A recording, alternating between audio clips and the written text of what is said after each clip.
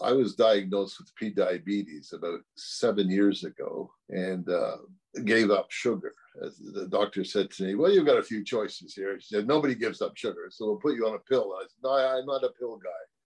Let me try giving up sugar." I was 250 pounds at that time, and she said, "Okay, um, how long do you want to do this?" Well, I said, "Let's try it a month. If nothing happens, fine."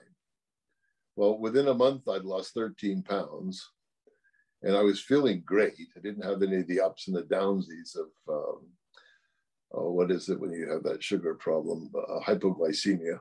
Yeah, I didn't have any of that anymore. Uh, and, and, long story short, I lost 47 pounds in six months and have never felt better, never looked back, and don't eat sugar.